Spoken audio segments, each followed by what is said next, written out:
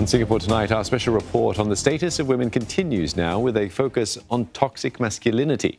It is the notion that men should behave in so called manly ways, like being strong and dominant. The term surfaced during a national conversation on women's development, which critics are saying it promotes a misogynistic culture.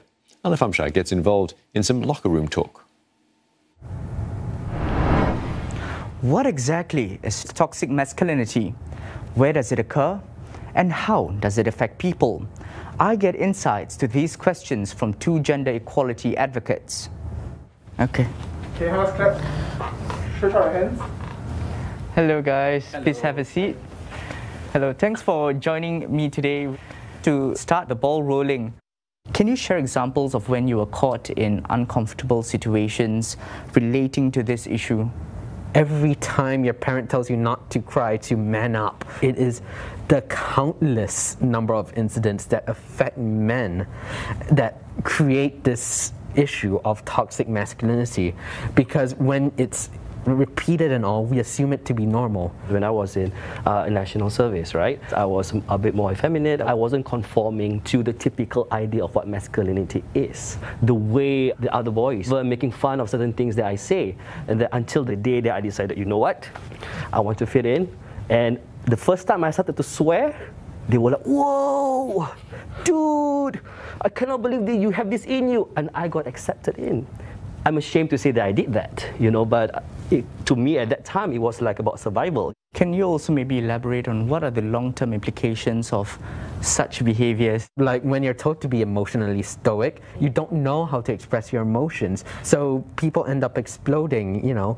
It could be a major cause for domestic violence issues, even in the sense of anger. You're not told how to express it in healthy ways, mm. which is the main reason why it is quote unquote toxic, mm. because it is it is literally not just hurting the people around you, but also hurting you yourself. I've seen how some men, you know, they even though they are struggling, they refuse. They refuse to seek help. You know, I could see it stem all the way from childhood.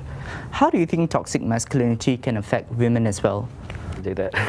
Uh, okay, like for example, in terms of sexual violence, like the idea that men have to be so dominant in every aspect of life that unfortunately, when it comes to sex, that it also has to be that men are supposedly dominant, that men can supposedly breach consent. There are guides out there on how to manipulate women so that they can be dominant over them. I think what is toxic uh, for a long time was that we are bombarded with a lot of materials for us to misbehave. If we start young and destabilize the norms from young, then we can imagine a better society overall that doesn't have to deal with the toxicity from toxic masculinity.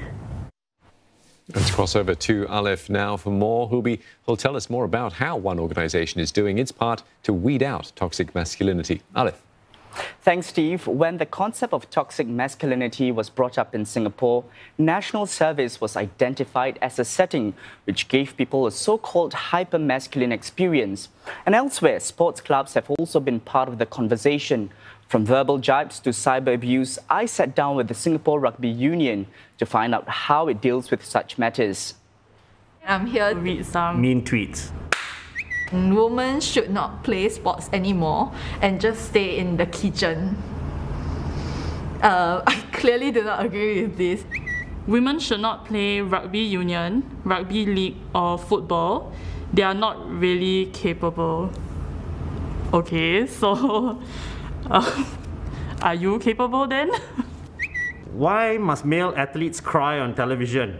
If you've been an athlete or you worked hard and it doesn't go right, you're gonna cry. It's, it's emotional. Try some sports. I'm sick of seeing male athletes cry. Suck it up. If cheerleaders can suck up hate, hard work, determination, fear, and rejection, then dot dot dot. Oh, that's a interesting one. Usually, men crying is, is quite a good thing, right? Shows that we're sensitive. I love seeing F1 male fans getting upset over F1 female fans because they think that this sport is only for men. Is it because it's like driving? Is it because it's just cars? sport has always been historically a very masculine thing. It's been a way to show like how men are like um, strong, stronger. It's very degrading that like why can't we play a sport as well as men? It creates um, a stereotype that a man has to uplift in terms of playing a sport, that you have to be better than women. Rugby's always been that, that sport that's perceived as for people who are super tough. In the past, Singapore rugby has seen occurrences of players being told to man up or to continue playing even when they've suffered serious injuries. But it has since made strides to make sure players are better protected against such practices. Try which that includes making sure that referees and coaches are aware of injury risks, especially during competitions. That's where this blue card comes in handy. The blue card is used by the referee so that if they have uh, recognised that someone may have a concussion, we issue them with the blue card and they're straight away removed. So it takes it out of the coaches or the parents' hands to ask them to push through that, that pain barrier, uh, take them off the field, check them to make sure that they are safe. Players now have a safe space to report cases like abuse or inappropriate behavior after a safeguarding committee was launched in July last year. Women also have a say on how to take the organization forward with the formation of a Women's Development Committee. We discuss how we can improve growth within the women's game, both on the field, but then also at administrative level, where it's usually a group of guys talking about how the sport is going to grow. We just want to make sure that there is a voice there to represent women's rugby. This is also to ensure that there's a fair distribution of resources for both men's and women's rugby in Singapore toxic masculinity can certainly impact both male and female athletes' well-being. Rugby really is for all, and that it needs to be a safe environment for all athletes to be a part of. Singapore Rugby Union's Douglas Danapal joins me live, along with gender equality advocate West Executive Director Corinna Lim. Thank you both for joining me tonight. Douglas, first to you. Does Singapore Rugby Union have more plans to weed out undesirable gender related behaviour? Well, Olive, uh, before the pandemic, SRU was already planning an office ethics and behavior course for the execs, noting that our workplace also includes the training grounds or playing fields and interactions with the wider rugby community.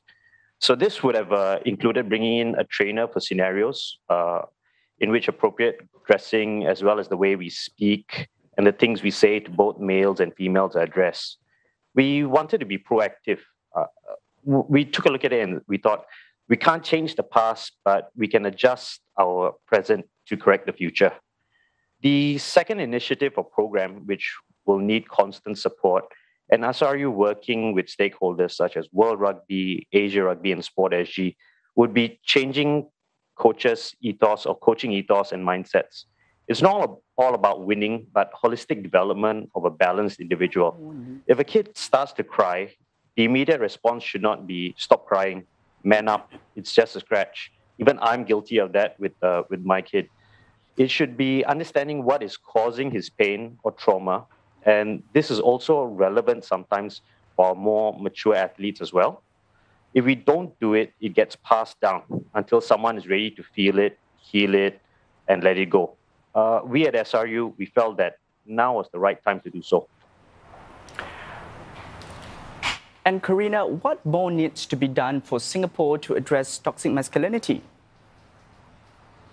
I think there's so much that can be done because this is such a new topic in Singapore. And, you know, though the, uh, the, the gender review um, has really started this conversation. So, um, the, in the first place, we don't have too much data about this. This is quite a new term. When I first uh, talked about it, a lot of people said, "Oh, you know, you're you're saying that men are bad." I said, "No, men are not bad. It's toxic masculinity norms that we are actually that we have to tackle, right? So, what can be done? I think parenting. A lot of the uh, earlier uh, clips showed pa- people saying that their parents told them to man up, teachers told them to man up. So, all the adults actually, if they can be trained to really think about this in a different way, that manning up it has uh, a lot of negative connotations that are bad for men as they grow up. Um, also, uh, you know what what uh, like rugby is is doing traditional men's spaces can do a lot to actually promote respect for women, right? And so uh, I think what Rugby Singapore is doing is fantastic. Um, also, uh, in the education system, uh, the sex ed that uh, Minister of State Sun Xueling talked about, in, as part of the that education, we can really talk about men's um, uh, gender, right? Men's and and and and boys and girls, men's and men and women's roles in the family. Uh, so there's a lot that can be done, and and I think we have to deal with this idea that it it's not being a man doesn't mean having power over women, having many sexual conquests, and that is still a common idea, maybe not spoken in polite uh, society, but I know in men's spaces, there's a lot of this sort of locker room talk, and we must certainly deal with that. But first, I think we do need to get a, a masculinity study to actually uh, investigate this more and to see how this is happening. So I'm really glad that we're actually talking about this on mainstream news. This is a really great start that we've started this conversation. We've been talking about women's development for a long time. We need to also talk about healthy development for our boys and our men. Well, thank you both for joining me tonight. Uh, Steve, back to you.